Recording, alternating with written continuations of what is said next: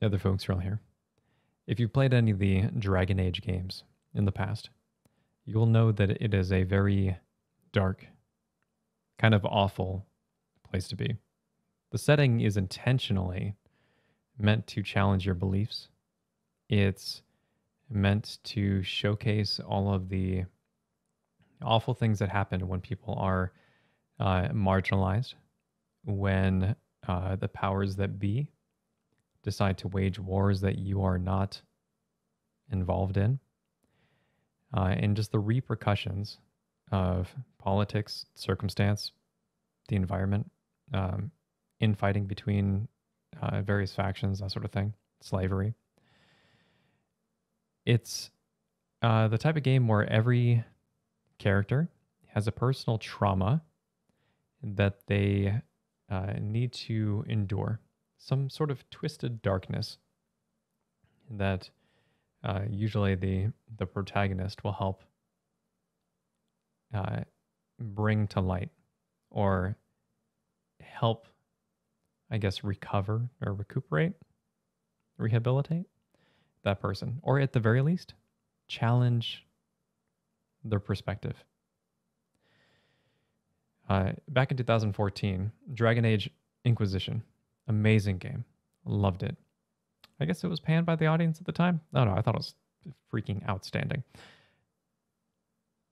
It was what a Dragon Age game should be. Bears all the same themes.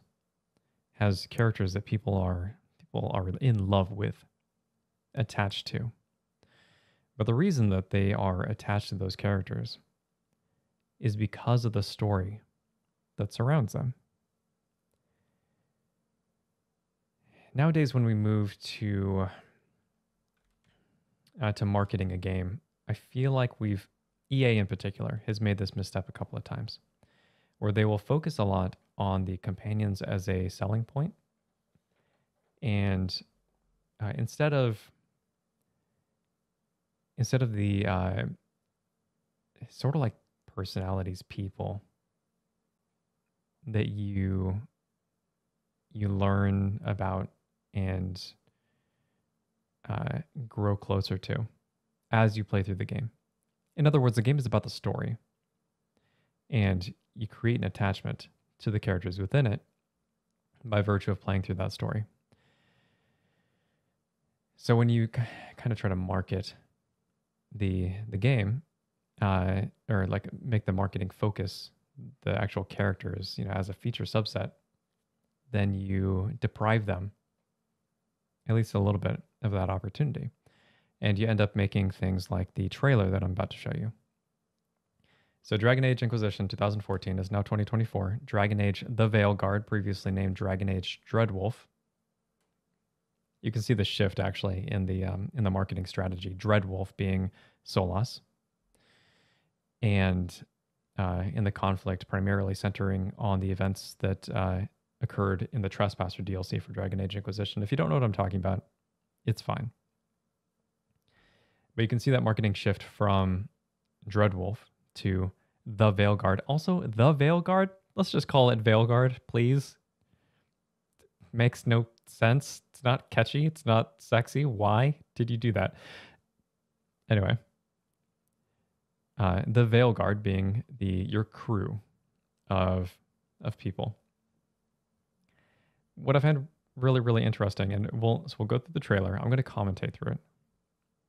Not going to be a whole lot, but uh, watch the trailer first. Linked in the description below. Get your your free, fresh start to finish take before I jack it up.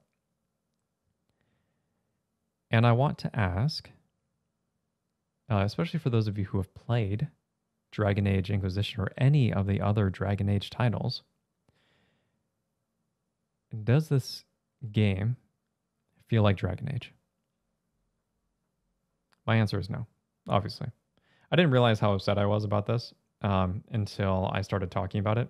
And so this is not my normal style of content. You don't need to like, subscribe. This thing, this doesn't normally happen. I'd like to uh, formulate my videos a little bit more when you think about the Thoughts and Better Gaming series. This is not that. This is uh, almost a rant So enjoy, I guess.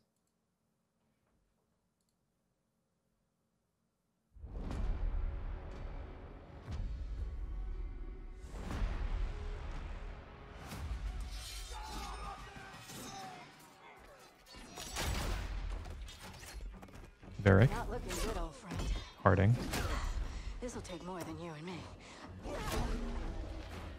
What are you thinking? We need someone to be our eyes and ears in the shadows. Okay.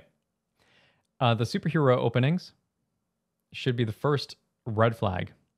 Actually, the first red flag was uh, was back earlier when you saw the stylized art, but I can forgive that. I'll talk about that a little bit later.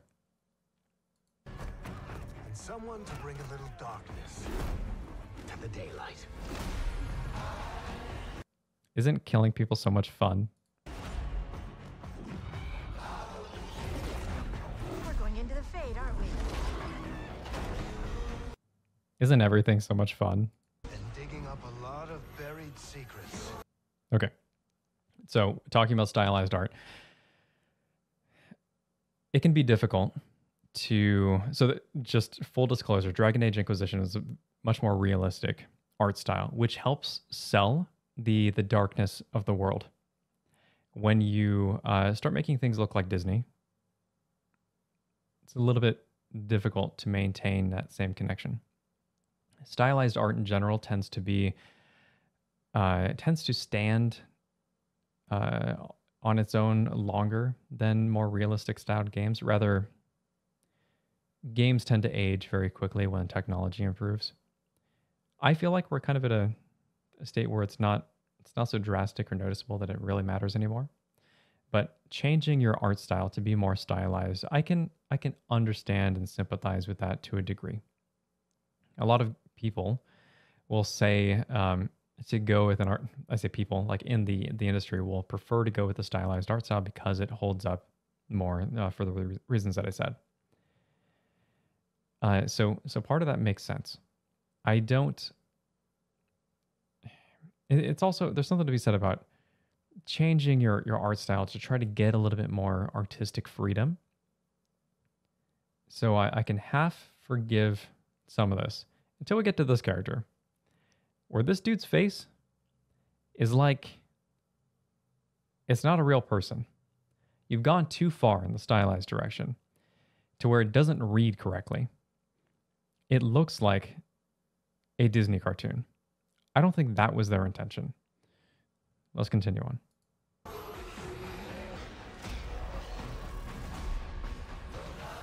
What about Darkspawn? Yeah. Someone will stand The the what about Darkspawn with a little giggle from from Harding? Jesus. Okay, so again, Dragon Age.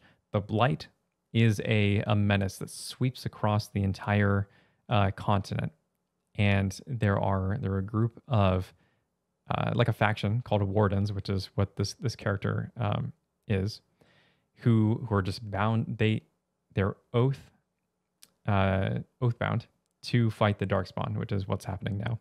Look at this dude though; he's so happy. between us and a pack of demons. And okay, well, this is a fun fun frame. In the background, David Bowie's "We Can Be Heroes" modernized and uh, mixed so that it's it's cool and hip. They did the same thing for uh, Battlefield 2042. And it it all kind of represents this focus on the characters, which is not where I feel the marketing efforts should be placed. That's one of the things that got Battlefield 2042 in trouble in the first place. And I see the same beats here. Listen, I'm still going to play the game. I'm just not going to be happy about it.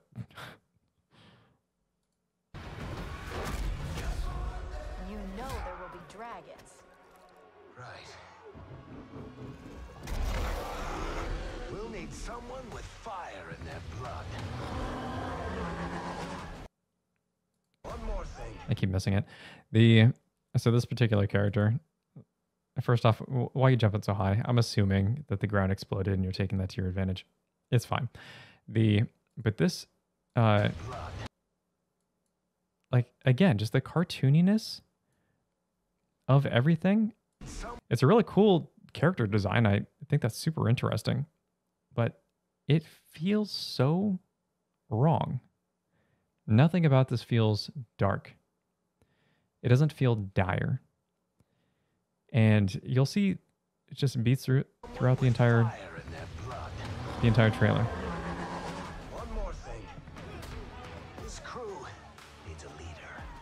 Someone we can count on. Okay, so notice the particle effects when when they're hitting these guys. Uh it's it's not blood. It's you know, just uh sweat. You know, is kind of what you'd uh pretend it is. That's suspension disbelief. And there's no uh there's no kill shots except when Varric shoots a dude in the chest with a crossbow.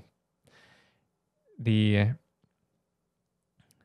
uh oh and I guess there's like a broken neck but all of this is so if you're trying to to market uh, a game, it kind of behooves you to to use a trailer that is more PG-13, unless you're really leaning into the themes of the game, which in Dragon Age Inquisition, again, very very very very dark. People's throats slit, blood everywhere. This game doesn't showcase any of that. Not only does it not do that, which again, I could like understand. You can't market things with blood in China, just as an example, because uh, or like all the blood needs to be either like a different color or replaced or uh, just not exist. So some of this might be them just kind of trying to kill two birds with one stone by making it seem more more friendly and fun. It's still garbage. Someone that the world can count on.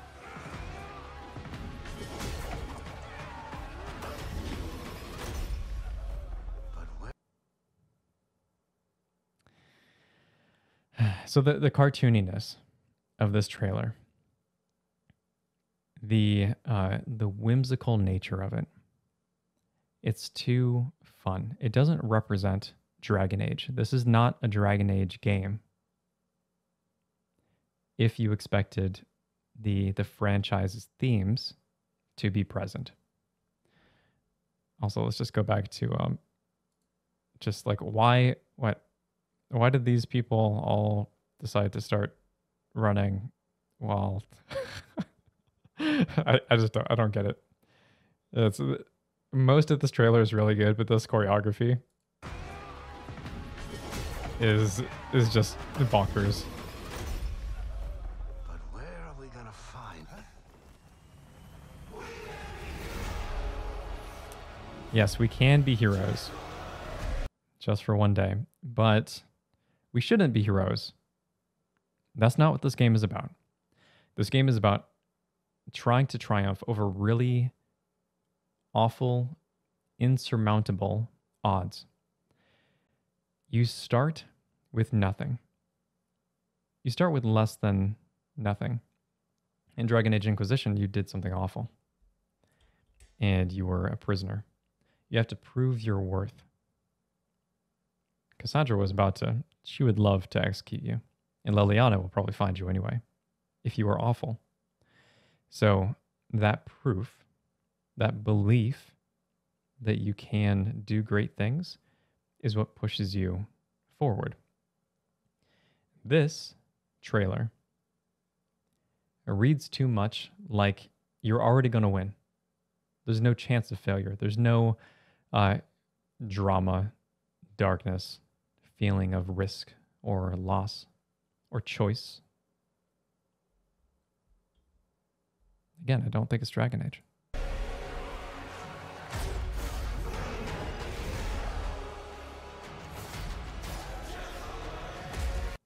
If this was a different game, like just not not Dragon Age, it would be freaking awesome.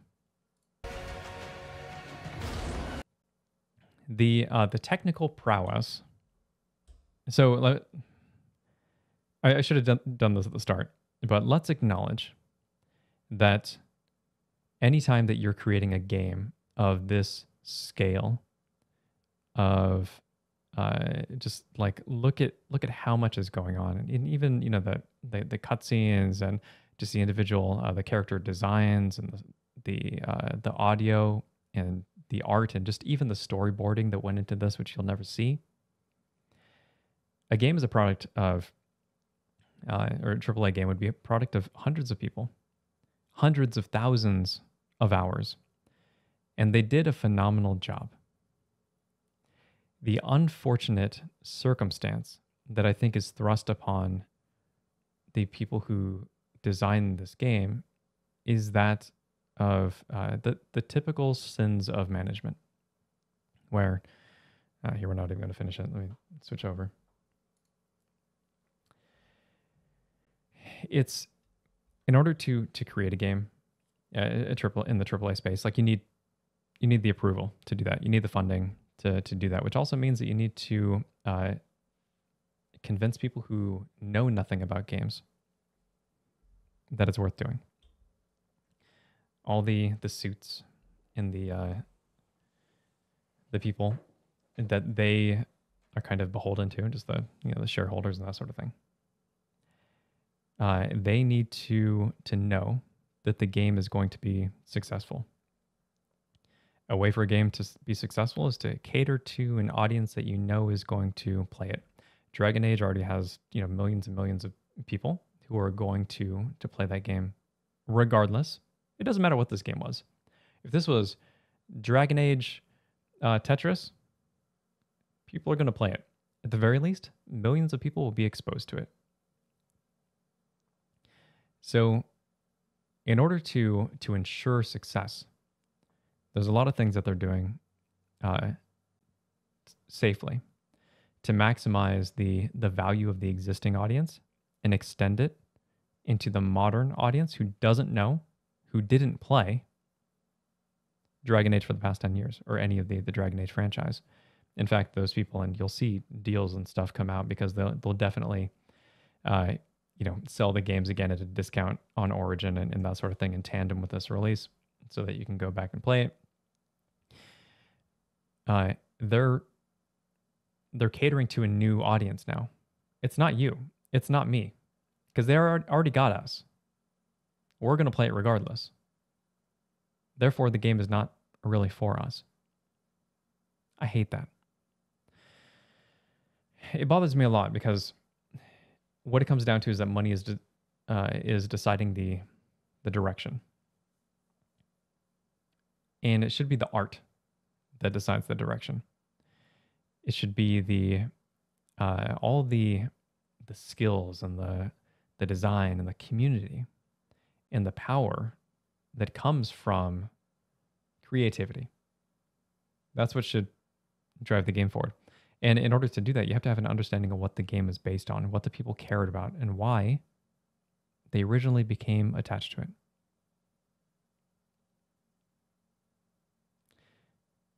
EA has never been a company that uh, understood that. They're only going for the almighty dollar and other currencies around the world. It's really unfortunate. Anyway, that's real cut it. Uh, if this video has been interesting, helpful, or entertaining, please feel free to like, subscribe, and blah, blah, blah, blah, blah.